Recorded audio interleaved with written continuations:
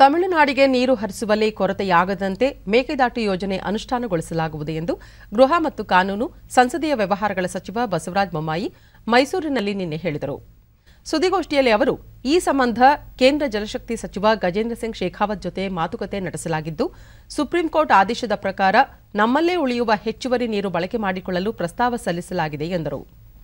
ಹದಿನಾಲ್ಕು ಟಿಎಂಸಿ ಹೆಚ್ಚುವರಿ ನೀರನ್ನು ಬಳಸಿಕೊಳ್ಳಲು ಸುಪ್ರೀಂ ಕೋರ್ಟ್ ಈ ಹಿಂದೆ ಆದೇಶಿಸಿದ್ದು, ವಿದ್ಯುತ್ ಉತ್ಪಾದನೆ, ಕುಡಿಯುವ ನೀರಿಗೆ ಅಗತ್ಯವಾದಷ್ಟು ನೀರನ್ನು ಬಳಸಿಕೊಂಡು ತಮಿಳುನಾಡಿಗೆ ಕೊರತೆಯಾಗದಂತೆ ನೀರು ಹರಿಸಲಾಗುವುದು ಎಂದವರು ಹೇಳಿದರು.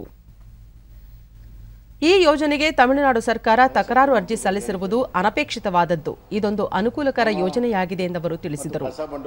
ಅನ್ಲಾಕ್ ನಂತರ ರಾಜ್ಯದಲ್ಲಿ ಅಪರಾಧಗಳ ಸಂಖ್ಯೆ ಹೆಚ್ಚಾಗುತ್ತಿದ್ದು, ಅವುಗಳ ನಿಯಂತ್ರಣಕ್ಕೆ ಪೊಲೀಸ್ ಇಲಾಖೆ ಸಜ್ಜಾಗಿದೆ. ಐವತ್ತು ಕೋಟಿ ರೂಪಾಯಿ ಮೌಲ್ಯದ ಮಾದಕ ವಸ್ತು ನಾಶಪಡಿಸಲಾಗಿದೆ. ಸಿಂಥೆಟಿಕ್ ಡ್ರಗ್ಸ್ ತಡೆಗಟ್ಟುವ ಕಲೆ- ಕೆಲಸ ಮಾಡಲಾಗುತ್ತಿದೆ. ಮಾದಕ ವಸ್ತು ಕಳ್ಳಸಾಗಣೆ ಪ್ರಕರಣದಲ್ಲಿ ರಾಜ್ಯದಲ್ಲಿ ಇಪ್ಪತ್ತು ವಿದೇಶಿಗರ ಬಂಧನವಾಗಿದೆ ಎಂದು ಬಸವರಾಜ ಬೊಮ್ಮಾಯಿ ಹೇಳಿದರು. Inter state water dispute act ಇದೆ. ಟ್ರಿಬ್ಯುನಲ್ ಆದೇಶಗಳಿದೆ. ಅದರ ಅನ್ವಯ ತಾವು ನಮಗೆ ನ್ಯಾಯವನ್ನು ಕೊಡಬೇಕು ಅನ್ನುವಂಥ ಮಾತನ್ನು ಉದಾಹರಣೆಗೆ ಮೇಕೆದಾಟು. ಮೇಕೆದಾಟಲ್ಲಿ ಟ್ರಿಬ್ಯುನಲ್ ಏನು ಆದೇಶ ಕೊಟ್ಟಿದೆ, ಅದರ ಪ್ರಕಾರ ಅವರಿಗೆ ನೀರನ್ನು ಕೊಡುವಂಥದ್ದು.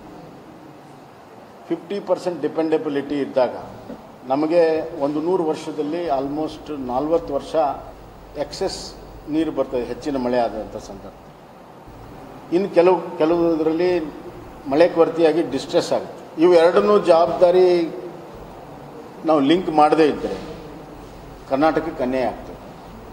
ಆಂಧ್ರ ಮತ್ತು ಕರ್ನಾಟಕ ಏನು ಡಿಸ್ಪ್ಯೂಟ್ ಇತ್ತು ಆವಾಗ ಆಂಧ್ರದವರು ಏಳು ಸ್ಕೀಮನ್ನು ನಮ್ಗೆ ಕೇಳದೆ ಮಾಡಿದ್ರು. ಆವಾಗ ನಾವು ಸುಪ್ರೀಂ ಕೋರ್ಟ್ಗೆ ಹೋಯ್ತು.